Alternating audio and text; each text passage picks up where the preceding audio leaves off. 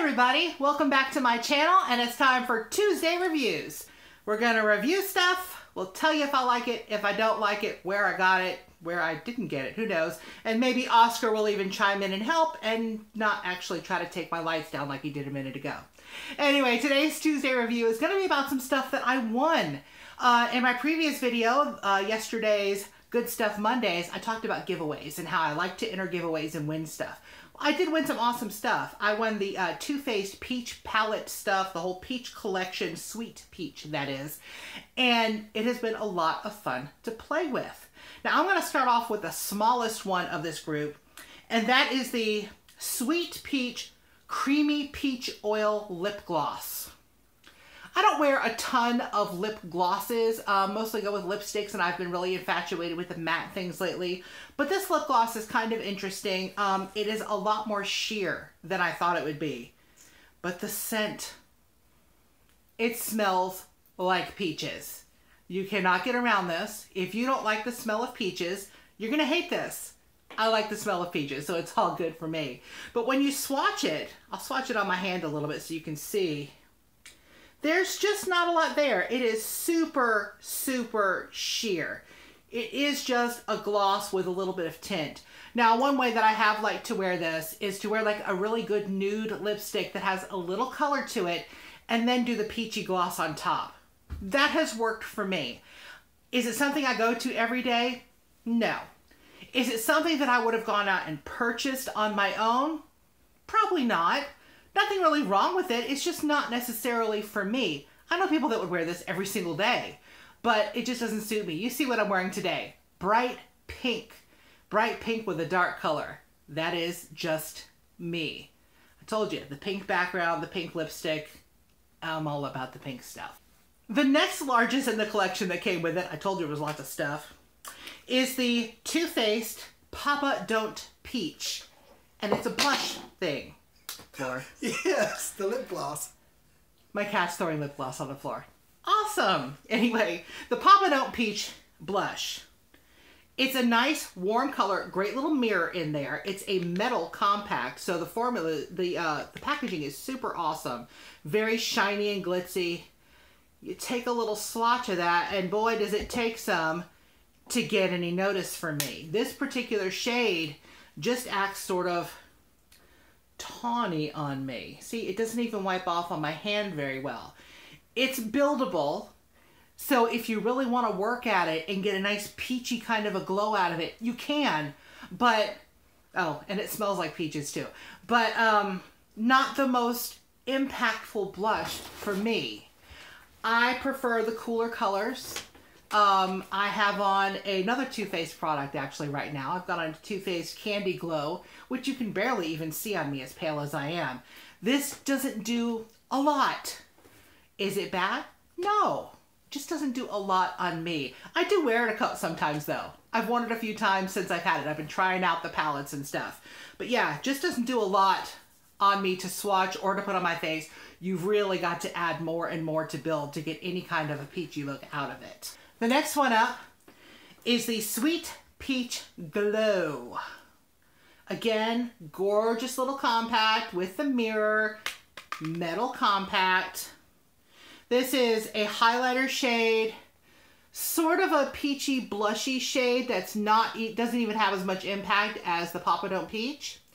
And this, I'm not sure if they wanted this to be a contour shade, not quite dark enough even for my pale skin to be a contour, or maybe a highlight shade for somebody with super um, dark skin. I'll do a little swatching for you here. We'll do the other hand this time. And I found that with a brush, I almost cannot get anything up out of this. With my hand, it's much better, and sometimes I just resort to using my finger and putting it on. See, not a lot there. You get a little bit of glow. I know the lights in here aren't the best, but it does give you a nice peachy glow. That highlight is nice. If you don't, if you don't want something like boom in your face highlighter, just a little light glow. It's got a little shimmer to it. It's actually quite nice to wear. I've been enjoying that one more than the others. The brownish one that looks sort of like a contour. Look at it on your finger there. See, See what I mean? It would be a highlight, a nice highlight for someone with darker skin. Um, really, it would. My skin just does not take to that very much. It shows off as a little bit of a brown swatch, but not so much contouring. I guess I could use it a little bit as a light bronzer, but not so much as a highlighter. They don't tell you what it's for. They give you the thing and they say, here you go, try it out and play with it, which, you know, I'm not opposed to that because I enjoy playing with my makeup. The final thing is the peach glow in the middle. Again, really rubbing my finger in there to get a good swatch. We'll go with the middle of the hand this time. That's not bad. It gives a nice sort of a glow. It's not very blushy. It's more, um, it's more shimmery than that. I would love it if they had these in a matte, matte instead of just in the shimmer colors. Because when you get a little older, you get some texture on your face, and those shimmer colors pick up every bit of texture there is. Hello. You don't realize how much texture you have on your skin until you put on some really shimmery stuff and you're like, holy cannoli, where'd that come from? Ew. But no, the colors are nice. It smells gorgeous. Yes, more peachy smells, peachy scents, sweet peach glow. Again, with this one, I would not have gone out and purchased this myself just with the colors, the way it works with my skin. But I can see someone with, with a different skin tone might have a lot more use out of this. Am I going to get rid of it? Uh, no. I'm going to find more ways to use it. Um, I can see me using that brown color as an eyeshadow a little bit because yes, you can play, put things in different places. Because sometimes you just want that warm little glow in your eyes without being all, I'm wearing eye makeup. You know, you can be more subtle than I usually am with anything in life. Really. Finally, what I think is the star of the Sweet Peach group here is the Too Faced Sweet Peach eyeshadow palette. Holy cannoli, look at all those colors. And let me tell you, they're awesome. They also smell like peaches. You start putting this stuff on and use the mirror that's in here, a nice big mirror. Um, the, the peach scent can become a little overwhelming because, you know, my eyes and I gotta see and get all close up. It's like, wow, why do I smell peaches? Oh, yeah, duh. Um, but the colors here, you can actually see if you look closely. I've been getting some good use out of these guys. Uh, one of my favorites on here is this one called Summer Yum. I'm going to take a little wipe of this here because I just love this color. I'm running out of hand space here. Okay, here we go. You see that? It blends really nicely. It's pretty blasted pigmented and it's such a gorgeous color. I've done several eye looks with these already. Uh, if you check out my Instagram, you'll see, and I actually, I tag them with what I'm using to try and keep track of it for myself and to let everybody know, hey, this is this color, this is that. Most of these colors so far have been pretty awesome. I like that they give you a black one called Tempting. I use that actually um, with a very narrow brush sometimes as an eyeliner instead of using a different eyeliner. I kind of blend it in when I'm not doing a super defined look. That Summer Yum, I think that's probably my favorite out of all the colors if I have to choose one. Um, one that's really not a big favorite of mine, just because I think it's about the same color as my skin, so it doesn't do much on me, is this white peach. Now on my finger you can kind of see it, especially on top of, you know, everything else I've been swatching on my hands. But you rub it on there, there's just nothing there, guys. It's just not much because I'm so pale it doesn't show up well. If you have a little bit more tan to your skin, more coloring, um, that's going to be gorgeous. Instead, I use one that's a little bit darker. This Nectar, I've used this Nectar as a nice highlighting shade a few times, and I really like it. It's got a nice glow to it without being terribly shimmery, and it feels so nice. The formulas really are like creamy feeling. Not a ton of fallout. Um, there is some, with especially with the Talk Derby to me. The Talk Derby to me has a little shimmer to it in the pan and when you wear it on as well. But like a lot of shimmer shades, when you go to use it, there's a little bit of fallout. Just beware for that and get ready to have your little brush to brush it off your cheeks. But otherwise, it stays on really super well. The only one shade that I found that was transferring on me and just got on my nerves, as well as on the top part of my sort of semi-hooded eyelids, was this Luscious, which is pretty. This little guy here, you can see it really stands right out. You see that color there?